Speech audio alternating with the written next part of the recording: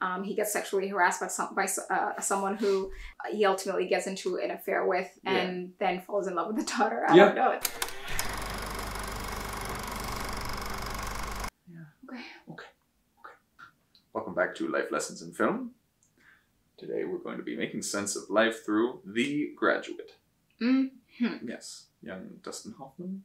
It was an experimental time that that movie came out. but yeah, like the main main premise, right, is that young graduate just finishes college and that, you know, understandably when you're that young still, 20, 21, don't really know what to do next. Even if you have everyone, you know, family and friends coming by and suggesting you should get into this industry or trust me, this is the way to go. You know, it's going to yeah. be big. You know, you can have all these people giving you suggestions. Plastics. Plastics. Yeah, exactly. He's like one word for you, plastic. Oh, okay, so I'll, I'll remember that. You know, it doesn't mean anything. His family wanting to. Well, they they trying to think of the word, but they drag him around uh, as if he's not really a person. A lot of times they show him they, off. Yeah, they, they live vicariously through him, his achievements. Right, he was a successful track athlete. He got some awards. Got some awards. He's good at stuff, and so they can boast about it. Mm-hmm. But then uh, he obviously feels dehumanized by a lot of that. He just wants quiet time. He wants to reflect. He's a little bit disoriented. You know, mm-hmm. it's he's done with with university and now he has to be an adult mm-hmm. basically. Mm-hmm. and those things are really hard. I, I, got a sense also from that movie which i think is a, happens a lot at times with families where they want him to know what he has wants to do now. It's like okay so you know yeah take a couple weeks in the summer but now get off your butt you know?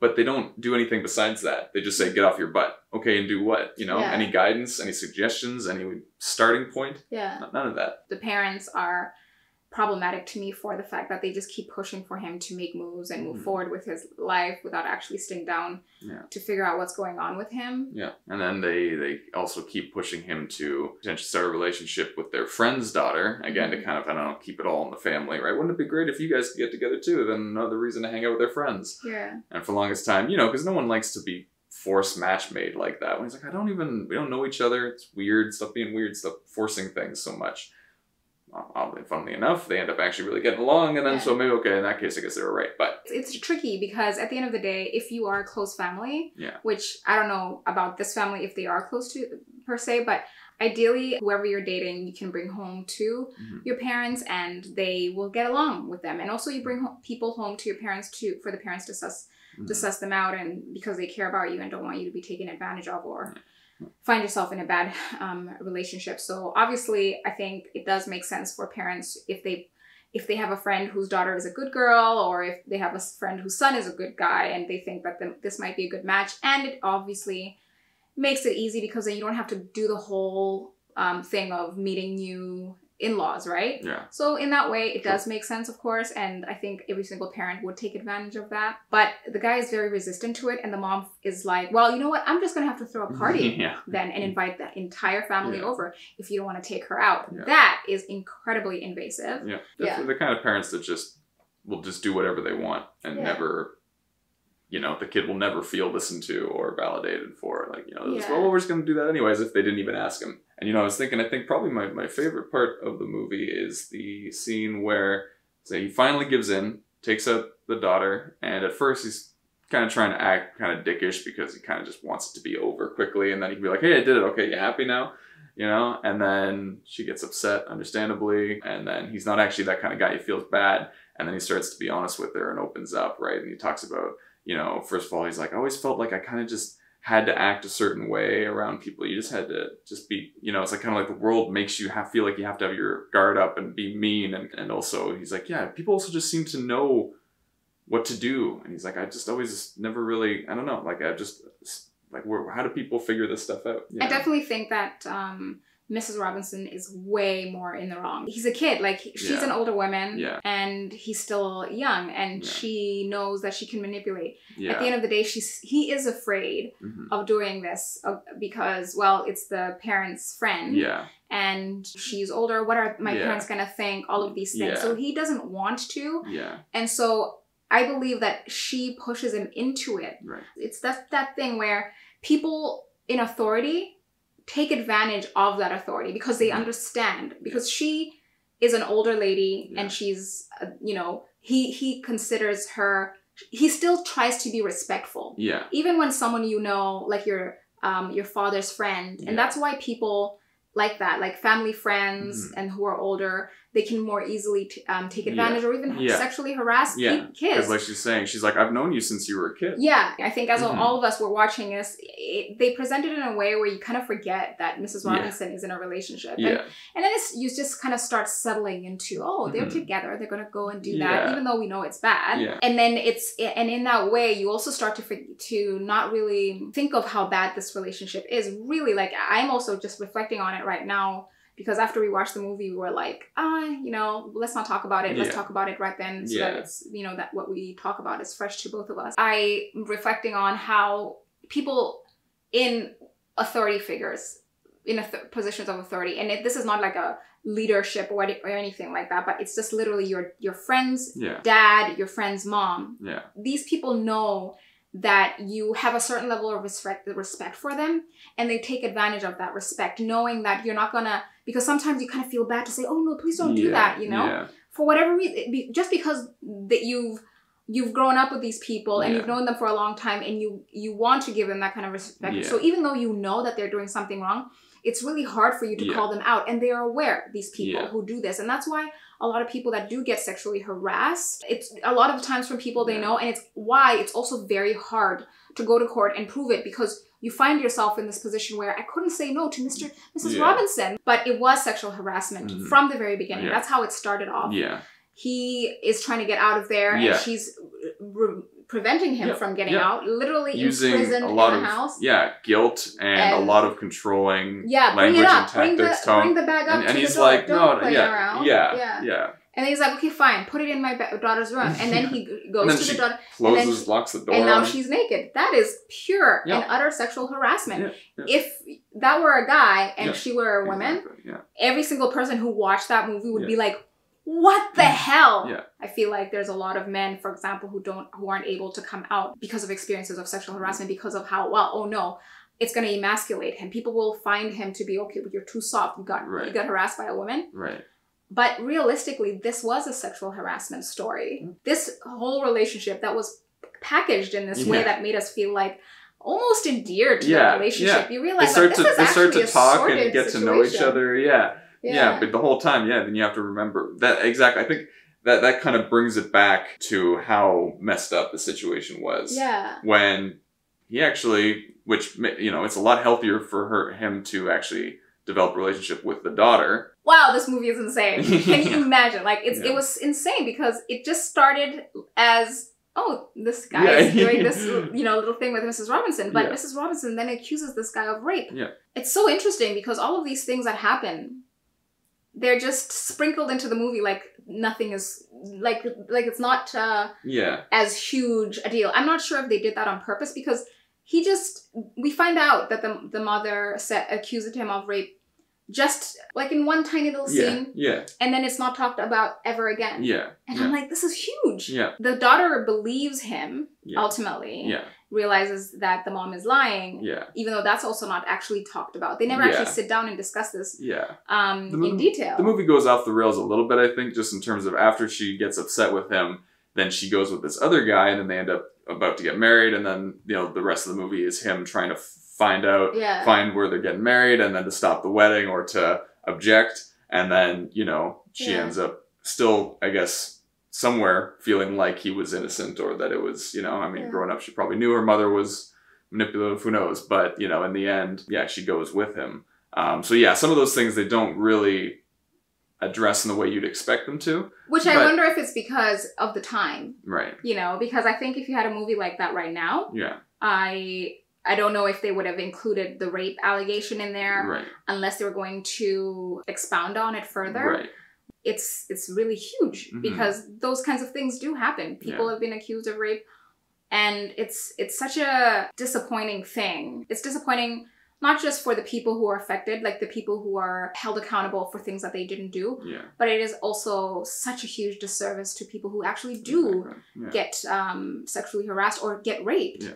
It, it makes it even harder, I believe, Yeah. to, for example, as a woman, if you're approaching, if you're trying to seek justice for rape, Mhm. it makes it even harder when there are all of these other, when, when women, When people can also falsely yeah, Yeah. it just makes it so much harder. and and that is the tricky thing i guess that is hard to get around is that there will always be people that uh, are out to to manipulate and to affect things for their own selfish gain so then they know okay well you know i can just say this thing which means nothing to me it's a huge accusation or whatever but it means nothing to me and this no is across the board this is this could be Yeah. anything this could be again like accusing someone of, of anything Yeah, murder, rape, you name yeah, it. Yeah. I'll say this: if you don't, if you don't do this, I'm going to ABC. I really don't think that these conversations were being had at that time, and of course, obviously, they weren't ha- being ha- being had to the magnitude that they that they are Mhm. now because women Yeah. really weren't talking so much. It's unfortunate as well that I think we are definitely still behind in terms of men themselves getting raped Mhm.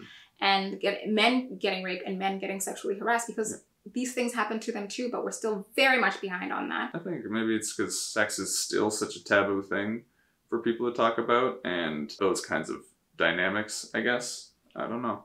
Like why Um, men's experiences with sexual Yeah, harassment. yeah, yeah. To talk about for for men to talk about things like that, it was a big thing for Terry Crews to come out being sexually harassed by another guy in this Yeah. case. But you know that was a really hard thing for him to bring up.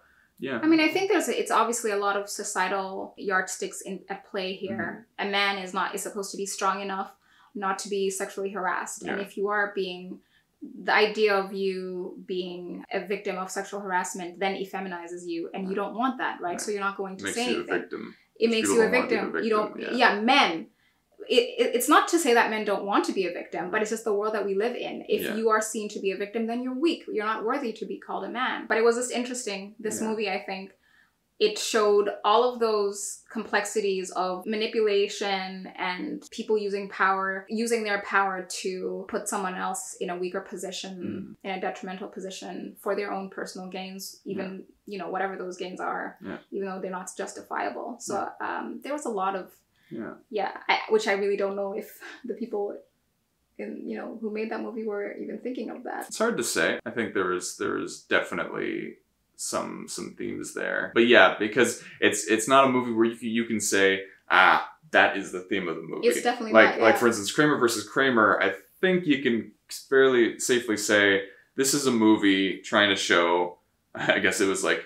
Uh, this, but instead of uh, where women generally get custody of the kid because it's assumed that they'd be a better parent, Yeah. Kramer versus Kramer, the whole theme, main theme of the movie is that no, sometimes the, the father can actually be The better, the better parent in this yeah. case. So with that movie, it's very clear. I think that is like, it, you know, that's clearly the central theme. With this, I think it was something that was there and Yeah. intentionally there, but it wasn't really kind of like what everything was, you know, gravitating towards. You know, Yeah. Yeah, it's an interesting movie because when I look at it, so many things did happen, right? Mhm. And you're like, what was the movie about? hmm Could it have just have been about a guy who's done with school? I mean, it is The Graduate, so he's Yeah. done with school and he's trying to figure out what's going on, and it's just Yeah. covering his time um, over the summer. Yeah. And the summer just over happens to be. Um, he gets sexually harassed by some by uh, someone who he ultimately gets into an affair with, and then falls in love with the daughter. I Yeah. don't know. yeah, young, young young graduate is just trying to figure out what to do with his life and certain things like a Yeah. like a affair with a older Woman. woman, Yeah. happens, which is quite a quite an experience, and then ends up falling in love with the daughter of the woman she's having for. So it gets just it's a big tangled a- mess. But I remember you were watching we saw the trailer or something, and you're like, oh, that looks like a really cool part where they got married, and then now they're kind of unsure Yeah. or worried.